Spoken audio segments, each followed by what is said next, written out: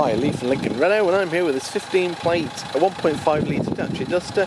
It's a Laureate trim, it's five door. Uh, as you can see from the front and side, we have our alloy wheels.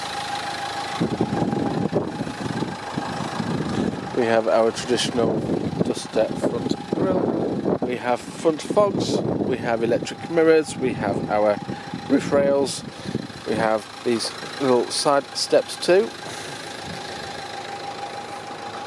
The rear of the car on this model is a push button and a fairly nice sized boot. This is cloth interior in this vehicle and there are three seating positions in the rear with uh, three headrests and uh, seat belts with one seat belt coming from the ceiling area. Uh, there is electric window control in the rear too. Now in the driver's seat.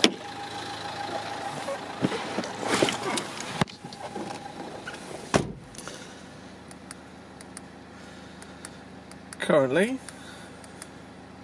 this vehicle has done 26,647 miles.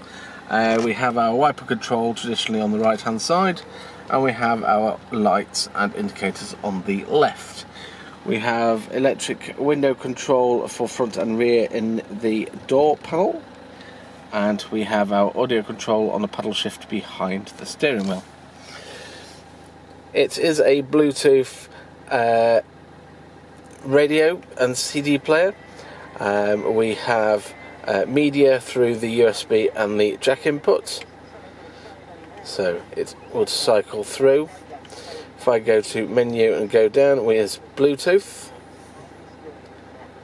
and the telephone button is just here. Cruise control speed limiter just here, and we have our manual air conditioning down here. It's a six-speed diesel engine um, with manual stick here. And that's it. It's our 1.5 litre uh, DCI Laureate uh, Dacia Duster um, on a 15 plate. So if you want to come and have a look, Lincoln Renault on Outer Circle Road, or make an appointment, come in, see us, and we'll be happy to show you around.